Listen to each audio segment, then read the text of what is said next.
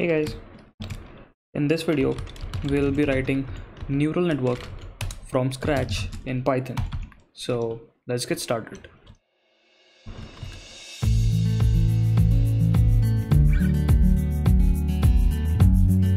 Alright guys, we'll start by importing some libraries um, in NumPy and I'll be sharing some links as well so after this video ends you can actually go and see those links. Those are like amazing links to un get understanding about backpropagation so we'll start by defining a class and um, we'll define an init function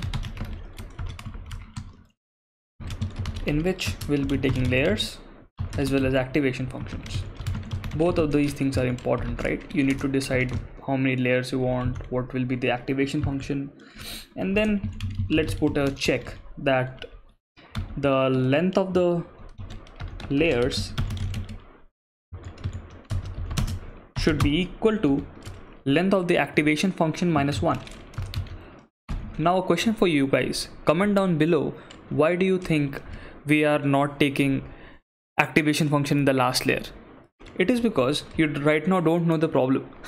The problem we are trying to solve is we'll be taking a sine to npi equation and we'll be trying to get our neural network estimate that. Now sine to npi uh, if you want to estimate that that becomes a regression problem. In order to solve a regression problem you don't need to have a softmax function or something like that. A unit function in the end of the neural network is going to work. So with that idea we don't have an activation function at the last layer. All right now okay this will throw an error. Amazing. Now we know what are we trying to do. So we'll quickly set the init function up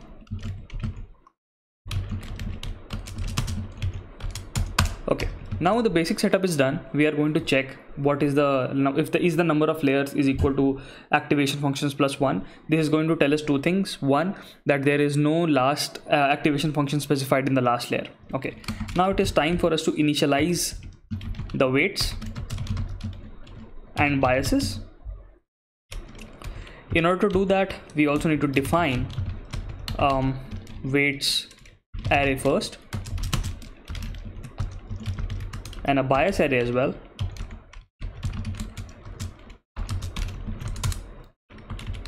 Can have a biases cool. Because we will have multiple arrays right? Um, now we need to quickly initialize the weights. So what we'll do is we'll say for i in range of length of self dot layers minus one so why do why are we doing minus one? Because if there are three layer of uh, if there are three layers in a neural network there will be two sets of weight right? From first to second and from second to third. So we need to create only two uh, a set of weights here. So we'll say that um, take the self dot weights and initialize randomly. Now weight uh, initialization is a difficult concept in itself in itself. So make sure that you read about it because it is going to help you in the long run. Here um, and also why do you think that we are going with a, a, random initialization? Why are we not doing zero? So these are some questions which you, you need we should uh, wonder about. And if you know the answer please write down in the comments below. So what i'm saying is take the i plus 1th layer. So if you are at the layer 1 take the your weight should be of the size 2 that is the layer layer 2 number of neurons there cross whatever number of neurons you have. That should be the uh, weights uh, the size of the weights um, for the first layer basically. Now um, okay self dot layers i. Similarly we'll do it for biases. Biases we don't need this thing because bias usually has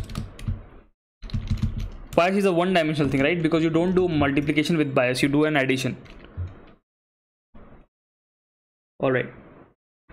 Now we are done. The, so weight initialization is done. Um, the second important layer which we need to define is a feed forward. So we'll take an input from the user and we'll return two things. We need to return the um, intermediate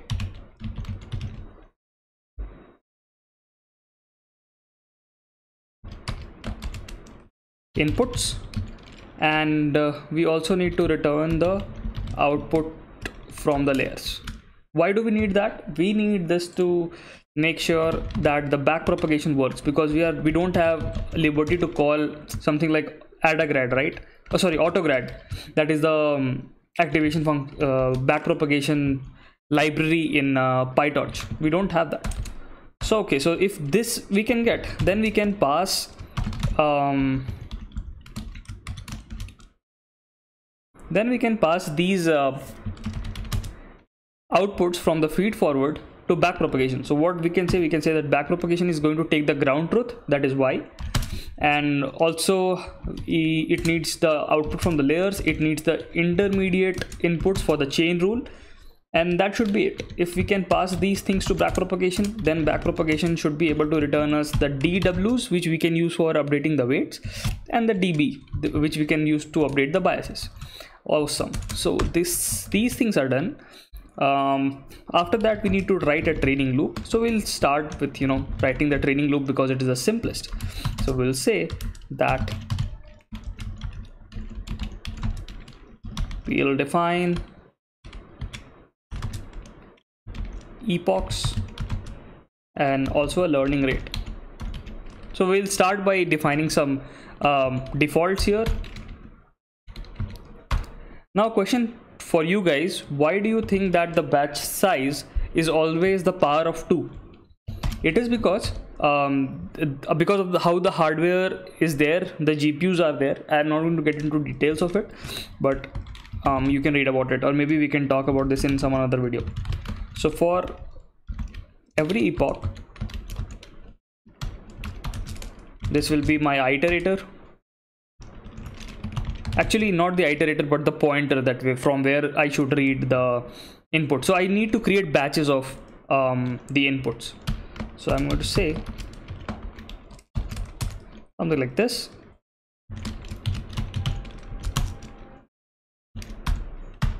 From i to i plus batch size. Similarly I will do for y as well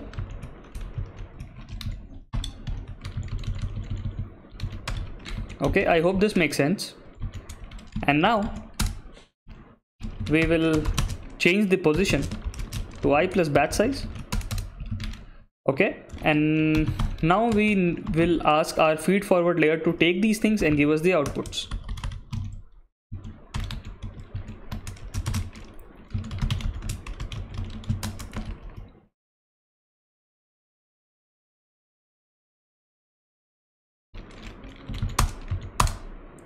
okay? After we get these outputs we will do a back propagation here. Mm, this will pass y batch will pass output from layers and we'll pass intermediate inputs and that's all. Now whatever these two layer gives us we should use that to update the weights and the biases so we'll do that. We'll say that uh, w into learning rate sorry w plus learning rate into the d weights which you have got for that um, that particular weight matrix. We can extract that from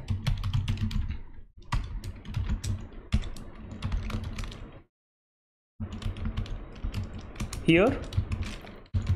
So I have zipped it. So the first uh, uh, D, DW's first element co corresponds to self dot weights first element like that. Similarly we'll write for um,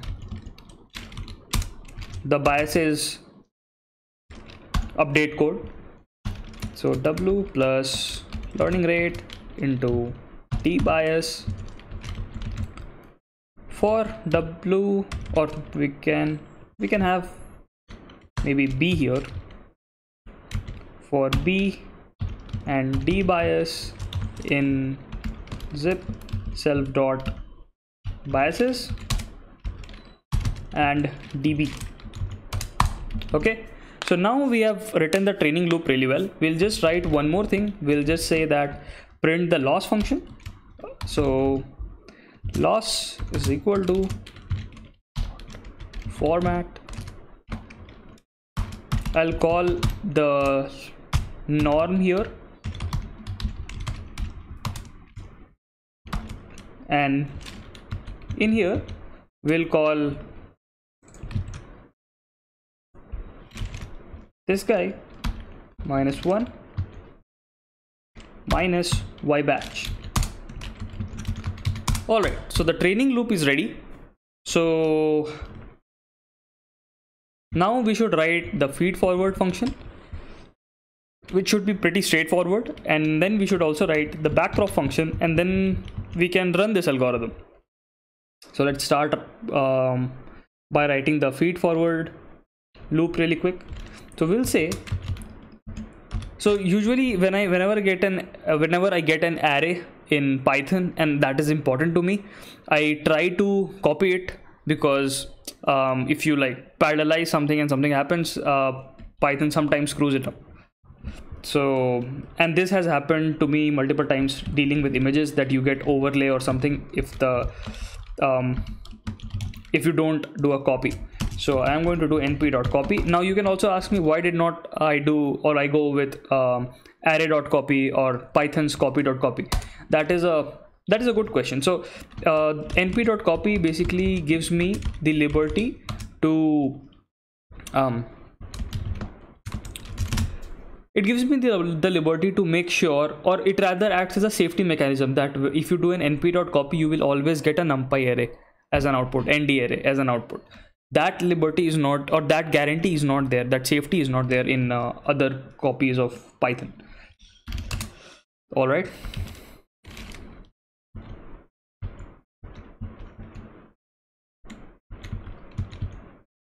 Intermediate inputs is equal to here I'll specify input to the layers. Now in order to do the chain rule I need to have track of these values right? That is why I am like creating these arrays which I will pass to the back propagation. You will see when when we do that.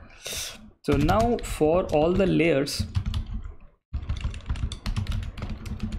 basically for now the uh, layers are gone. So for all the weights I need the um, I need my neural network to take the input and pass it through all the weights. Whatever weights we we will define the number of layers we define the similar number of weights we are going to define here. So we'll say that the activation function i need to get the activation function as well right? We have not defined activation function anywhere. So the activation function will be i'll write a function self dot get activations.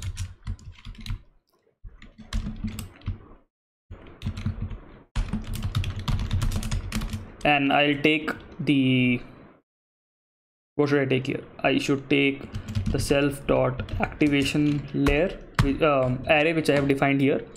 And I'll take that element which I'll be defining here that uh, for example what should be the activation function for the first layer what should be the activation function for the second layer. The last layer activation function is a unit anyways because we are trying to solve a regression problem here.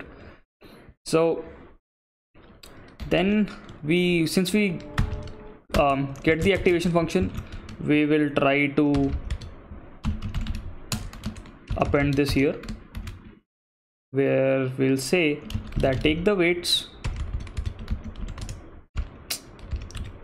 dot weights take the transpose of it and then do a dot product with whatever input you have. And then add a bias to this. Now why have we uh, why have i gone with dot t and not np dot transform? Uh, it is because that dot t is much more safer than np dot transform. You can read about it in stack overflow or something it'll be it'll be easier. So now then uh, that is the output of uh, of the layer which i am getting. Now the input to the next layer will be this this output which i have um, which i got and i'll encapsulate that in the activation function and that will be the input to the second layer right? So activation function will take the output from layers and this will become the input to the layer. All right now the intermediate input i also need to cool. So the feed forward function is done. Now we will quickly write the back propagation function. Uh, back propagation function can be a little bit daunting. That's why i'll tell you to um, I'll, I'll post some links in the description. So make sure that you go and visit those links. It will be a great read there. So just um, and uh, i mean I'm, i thank to the author of that those links who have um, written the book and have given to us for free. So make sure that you check those things out. So what we are doing here is that we want to calculate deltas for all the uh, for all the weights right? For all the layers. So uh, deltas means mean basically that you are trying to uh, um, see that how much the output the cost function gets affected by the intermediates input and subsequently the the exact input which you are giving to the neural network. And the objective is to minimize the cost cost function. So with that objective we go forward and we say that now this will be in a reverse order right? We because backpropagation will start from the last layer. So the last the the last delta will be the with respect to the output of the neural network and the um, the cost function right? So this is the first equation of backpropagation uh, so there are usually four equations of backpropagation you can check that out. So we'll say that take the ground truth subtract with the intermediate inputs minus one. So this is the activation function uh, based input uh, of the last layer. So uh, after the last layer uh, so we got output from the last layer and last layer's uh, output was encapsulated in the unit function. So we want to extract that. And then we want to uh, subtract with the ground truth.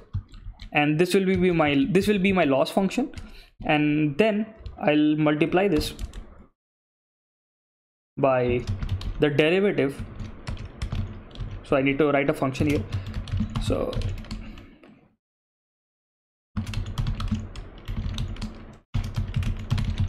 so I'll take the derivative of, of the activation function. So for that I need to call the activation function minus 1 and now this is going to return me a lambda so I will mm, encapsulate everything. So I need to pass the argu argument to it. So my argument is going to be the output from the layers minus 1 now this might seem a little bit confusing. That's why i'm recommending that on, on the here in the down in the ticker you can also see a link which i have posted. Or you can also go uh, and check out in the description that uh, where to go and uh, you can read more about backpropagation if you if you have confusion here. Because i want to keep the video short and i don't want to talk about backpropagation in too much detail here. Although if you want a video on backpropagation we can have a detailed discussion on backpropagation where we discuss Hinton's paper. You know we uh, we can have a series of lectures on backpropagation where we start from big uh, very basic ideas and then we discuss papers. Uh, we also there is a great paper by Yann LeCun where he um, where he talks about um, let's hold on. Yeah where he talks about um, how can you use Lagrangian multiplier to have a theoretical framework for backpropagation that is also an amazing paper. So we can we can read that as well. We can have a discussion on that. So let me know if you if you guys really want that. I really want to get this code working really fast. So that we can see. Um, the output right? All right. So now we need to do the simple thing. We need to take the dot products of the deltas. We are doing a chain differentiation here basically.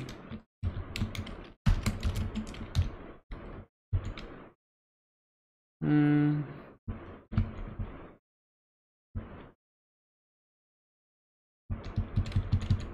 okay and now I need to do this again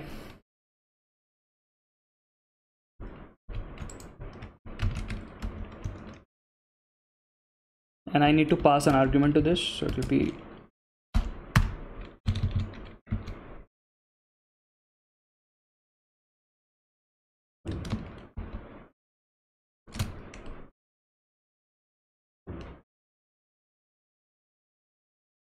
this looks right.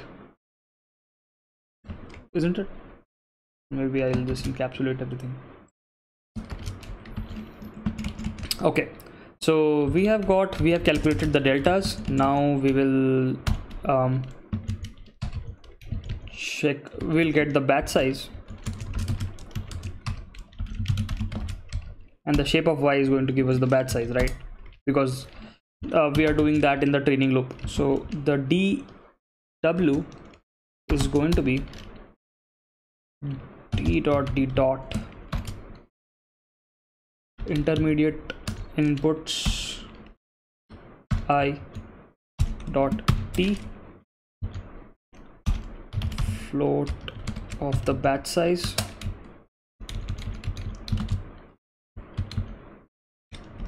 for i d in enumerate deltas. We can simply uh, similarly we can define db as well. D dot d dot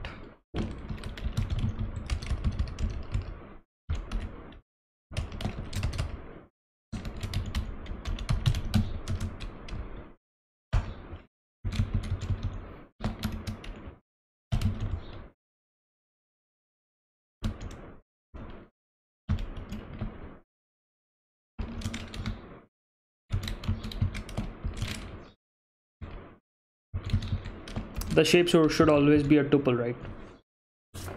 And then we can define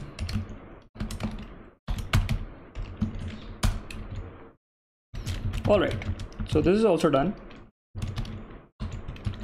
So perfect. So we have got our back propagation ready. Now we need to write um, code like of derivative function get derivative function and get activation function. So for these i have already written the code so this is the code uh, of the get activation function where I take the name. So you can specify the name of the activation like this. So let's say if I specify, we are not going to um, work with ReLU. The reason being because we are trying to estimate sine 2 n pi. And if I go with ReLU, uh, the negative values can't be estimated. It will be simply zero. So the activation function will be sigmoid and this is the function. So this will return a lambda to me which i will uh, or to which i'll be passing an uh, input. Then similarly i have written a get derivative activation function. Now all the other code is same and i'll be calling this code in this way. And let's see how this code works. So let's see this in action. So now neural network is trading the loss is reducing very slowly. The reason being we don't have got any optimizer but we hope that you know. Okay cool. So this is a one layer deep neural network and according to universal approximation theorem uh, one layer neural network uh, one layer deep neural network. So basically you have got one hidden layer. If you have that you can um, then as well you can estimate um, any continuous activation function according to universal approximation theorem. So maybe if we can train for more epochs we can get a better result. Shall we try that so um in, we did for 1000 epochs. Let me see i mean let, us just go for maybe 2000 epochs and see if that makes um, any sense. Or we need we might also need to change some loss function or something uh, uh, learning rate or something. I don't know. Here the loss function which is uh, being used is very similar uh, simple the uh, i'm just taking the euclidean distance between the ground truth and the active uh, and the predicted value so i think it was not too much change um, it it is it looks little bit better but uh, I think we need to uh, do tunings in many other hyperparameters which are there in the neural network. So we are not going to do that in this video. So thanks for joining guys. I hope that you liked the video and uh, check out the links in the description below and make sure that you subscribe.